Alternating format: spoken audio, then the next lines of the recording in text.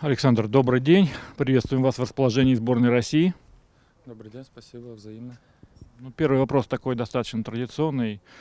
Э, Как добрались, э, с каким настроением приехали в нашу команду? А, Добрался хорошо и настроение отличное.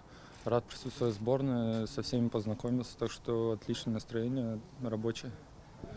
Э, Каким образом узнал, что получил вызов в сборную России? Какие были эмоции в тот момент?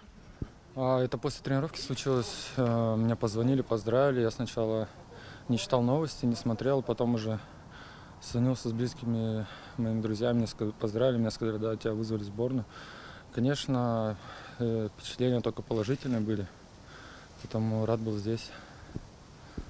Э, Кого-то из футболистов, может быть, знал поближе уже до этого, э, не знаю, разговаривал еще до приезда в сборной какими-то, э, кто-то делился уже с тобой этими мыслями о команде? Ну, Саша Соболев меня первый поздравил. Мы с ним с одного города, с Барнаула. Вот, он сказал, что ждет меня в сборной. Все отлично. А так, многих ребят знаю. Сегодня с остальными познакомился. Все отлично. Первый такой день полноценный сегодня, вот только что тренировка закончилась на поле, она тоже была ну, сп- специфична немного, разными группами занимались команды. Как, какие ощущения вот от занятий на поле? А, Хорошая тренировка. Э, Пробежались, э, подышали, поработали с мячом, так сказать. Э, Поднабрали кондиции и дальше работать. Потому что все приехали из своих команд, и поэтому первый раз вместе на футбольном поле. Э, Насколько я помню, один раз ты был в расширенном списке сборной России, но уже достаточно давно, но, по-моему, вызов так и не получил. Вот что ты об этом помнишь? А, помню, ну, что включили меня в расширенный список.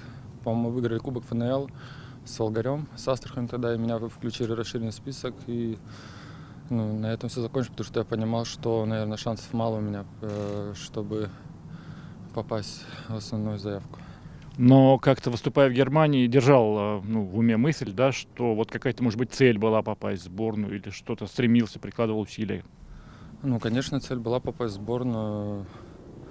Я этому очень рад, что она сбылась, эта цель, так, так сказать, достигнул ее. И надо дальше работать намного больше, прикладывать еще больше усилий.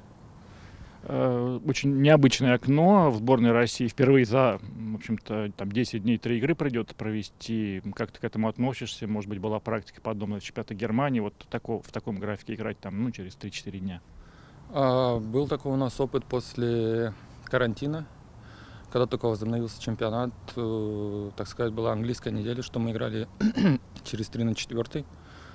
И потом м, была одна полноценная неделя подготовки игры, и потом опять было 3 через 4 мы играли. Так что э, не сказалось, что легкий график, но нормальный.